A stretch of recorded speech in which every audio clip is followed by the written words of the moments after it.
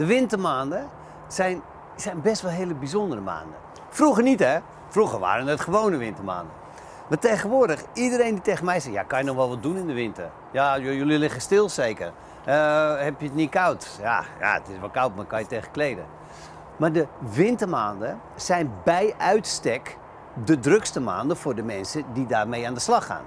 Bomen verplanten, planten verplanten, dingen verbouwen. Ja, als het vriest kan je even niks, maar het vriest maar een paar weken per jaar, maximaal. En daarna en ertussendoor ga je er gewoon mee verder.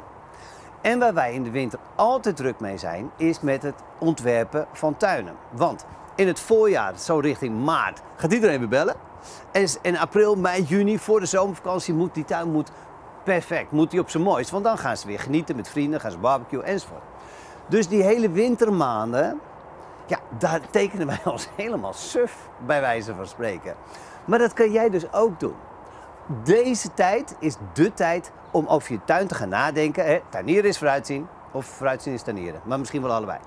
Maar om nu te gaan tekenen, ga nadenken over je tuin. Hoe was ik blij met die beplanting? Was ik blij met de verlichting in de tuin? Wil ik mijn terras iets anders? Kan ik de terras hergebruiken, maar zodanig dat het op een veel leukere manier gedaan wordt? Kortom, ga nu je plan, plan, plan, plannen bedenken. Kijk eens in de tuinmanieren shop, daar hebben wij een hele leuke cursus. En eh, wat, wat leer je dan allemaal in die cursus?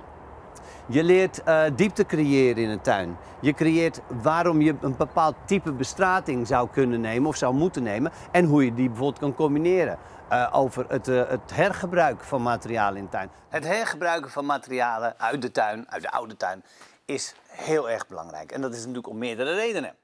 Welke houtsoorten heb je en wat is de duurzaamheid daarvan? Jeetje, het gaat over verlichting, het gaat over, ja, het gaat eigenlijk over alles. Eh, natuurlijk heel veel over beplanting. Waarom zet je nou op een gegeven moment een boom hier neer? Ik kan het belang van bomen eigenlijk eh, niet genoeg benadrukken.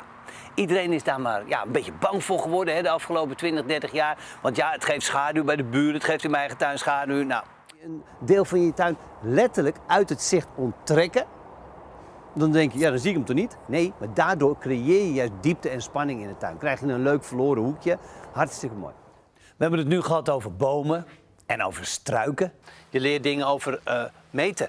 Wat over bestraten, houtwerk, recht en wet. Er bestaat namelijk iets als de bomenwet. Een stukje bodemkunde.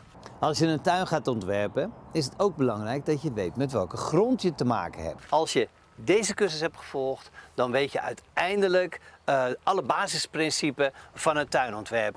Denk daarover na. Kijk gewoon die cursus.